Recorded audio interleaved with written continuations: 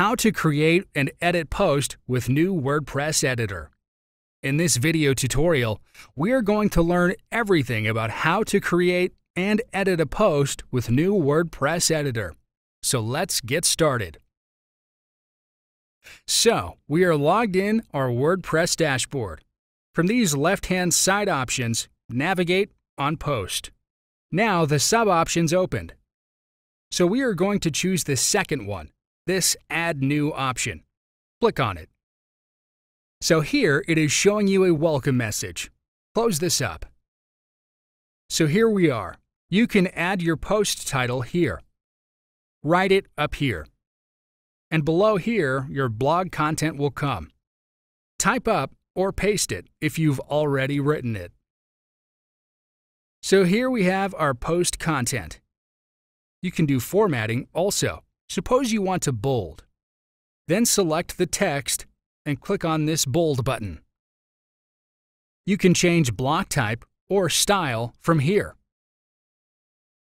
Then you can move a block up or down from here, like this. Also, if you want to insert a backlink, you can add it with this button.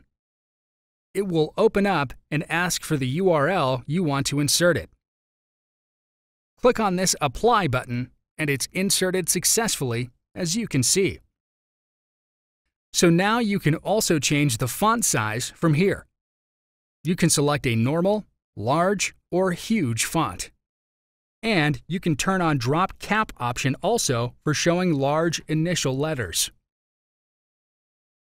You can change the color setting from here, background color, and text color.